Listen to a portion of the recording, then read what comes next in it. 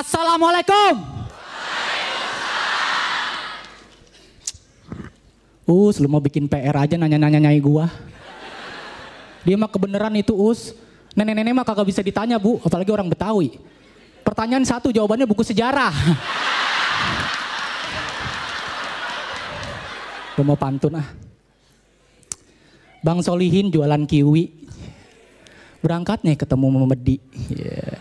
Kenalin gue David anak Betawi. Bawain keresahan Jakarta lewat stand up komedi. Yeah. Lu pasti pada mikir, ya elah ngomongin Jakarta itu mah David banget. Abdur mah lewat dah. Ibarat kate nih, tukang ojek ngomongin rute udah di luar kepala. Kenyataannya belum tentu pak. Dari show satu gue bawain materi soal Jakarta. Giran ditemain soal Jakarta, abis materi gue. gue maunya pengennya mana gue kagak mau stand up. Gue pengen puter video kompilasi. Dari show satu sampai sekarang, lo nonton dah tuh gue jogrok sini. Saking susahnya nyari materi soal Jakarta, gue ampe googling. Masya Allah. Padahal gue mah kagak akrab-akrab banget sama googling. Kita ketik nih keyword keresahan soal Jakarta. Yang nongol banjir. Pan udah gue bawain. Gue ketik lagi, selain banjir dong.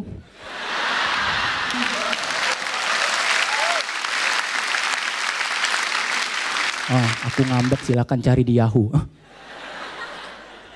Oke, aku cari di Yahoo. Pas buka Yahoo, hmm jadi gitu. Kalau Google ngambek baru cari aku.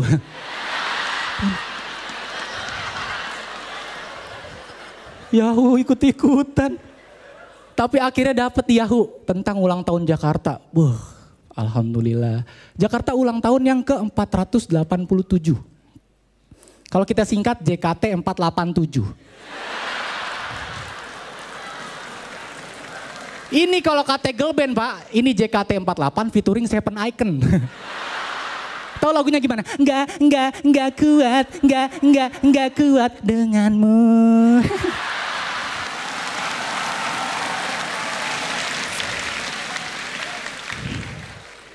Tapi gitu ya, saban ulang tahun Jakarta selalu dipromosiin Enjoy Jakarta enjoy biji mata lu.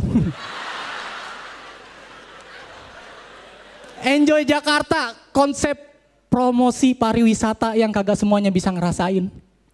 Masa lupa, nyai kita kita tanyain enjoy Jakarta, nya enjoy Jakarta biji mata lu meletak. Beras habis, listrik nunggak, stadium tutup lah.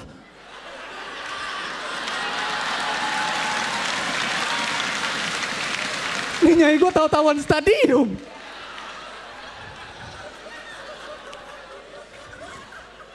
Ini tahu bener ya deh. Gitu, enjoy Jakarta ya Allah enjoy bagaimana ya. Padahal ada lagunya pak, lagunya enjoy Jakarta tahu nggak lagunya gimana? Kalau yang Jakarta tahu enjoy lape. Siapa tuh? Ah, semua ke Jakarta kita lihat ibu kota bareng sama keluarga enjoy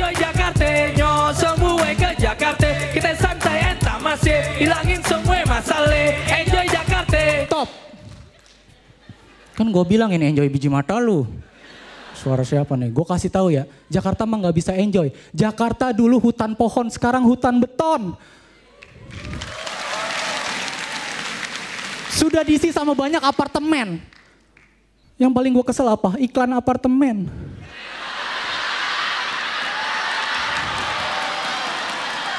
Nih, mohon maaf Popeni, ini berhubung grand panel terakhir nih.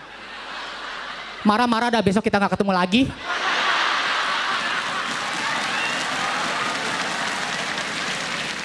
Lu lihat iklan apartemen rata-rata jual apa? Jual gambar. Loh, 3D, animasi.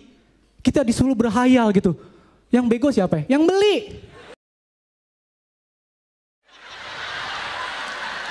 Lu mau aja beli barang yang belum ada. Lu lunasin, nih yakin bener nih bakal dibangun apartemen, bakal lancar. Yakin bener nggak ada masalah. Siapa tahu pas lagi bawa gali pondasi tahu-tahu ditemuin fosil manusia purba.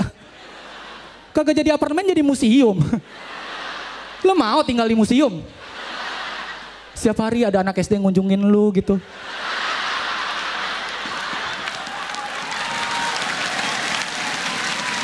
Bu Guru, iya, Itong, itu kan orang purba, itu orang apa? Orang kaya lu beli barang yang belum ada wujudnya. Itu ibarat kata lu ngajak nikah cewek yang lu kenal lewat Facebook. Yakin bener tuh cewek orang. Bisa jadi ondel-ondel. Mau lo nikah sama ondel-ondel? Ijab kabul saya terima nikahnya. Ondel-ondel binti siapa pak? Binti ondel-ondel juga. Dengan mas kawin seperangkat alat gambang kromong dibayar. Dibayar apa pak? Dibayar syukur kagak ya udah.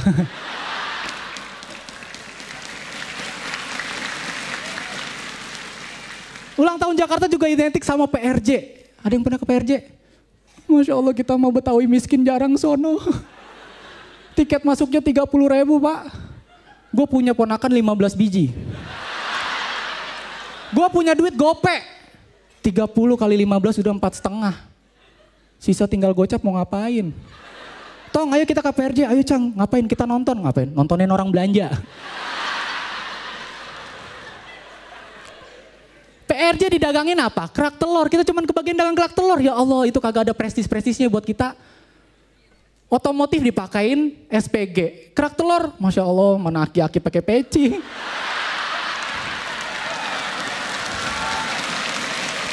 Kudunya kita tukar sekali-kali. Kerak telur pakai SPG. Kan enak gitu. Masya Allah kita lagi lewat depan standnya.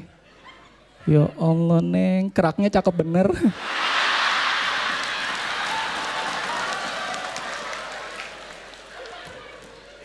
Kok kerak doang, Neng? Telurnya mana? Sekian dari gue David Turbianto. Assalamualaikum warahmatullahi wabarakatuh. Ya, tadi udah di guide bahwa ini akan ngomong soal keresahan mengenai Jakarta. Aku berpikirnya amat sangat banyak pastinya. Tapi gini, yang mana yang akan dipilih? Aku pikir kayak gitu. Tapi aku melihat David pandai sekali ngambil justru substansi dari keluhan orang Jakarta. Fit. Ya, Om Indro. Kompor gas tapi dipakai buat kerak telur, Fit. Alhamdulillah. Ya David. Ya, Dit. Keren banget materinya ya. Uh, sorry ya Mbak Feni. Mudah-mudahan hari ini lo nggak digambar pakai semen sama Mbak Feni ya. Uh, gue gampangnya gini aja deh. Dari show 1 sampai grand final, apa pun yang gue bilang baik buat lo di kompilasi ini jadi video, nah itu komentar gue hari ini. Thank you. Alhamdulillah. David. Iya, Po. Buat saya cara materi yang kamu bawakan dengan tema Jakarta ini luar biasa. Kalau kita mungkin mengharap kamu akan bicara mengenai Betawi. Tetapi kamu bicara mengenai Jakarta dan Betawi ada di dalamnya gitu. Karena Jakarta adalah kota megapolitan. Kamu bicara apartemen, kamu bicara uh, browsing di Google, Yahoo. Seperti itulah uh, Jakarta, bukan yang sangat beragam gitu, yang sangat bermacam-macam. Satu hal saran saya buat kamu, kalau kamu mau beli gambar, pastikan pengembangnya memegang teguh komitmennya untuk membangun tepat waktu dengan kualitas prima. Tepuk tangan sekali lagi untuk David Nurbianto.